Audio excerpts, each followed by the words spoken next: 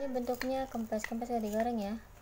Kalau nggak digoreng langsung makan eh, seperti biasa enggak ya. Hmm, hmm.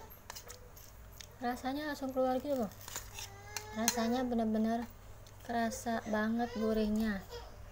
Jadi kayak garing-garing gitu. Tuh. tapi dia merepes gitu merepes. Cocoknya emang langsung dimakan ya Mm-mm. Huwag ka na ako na. Mm.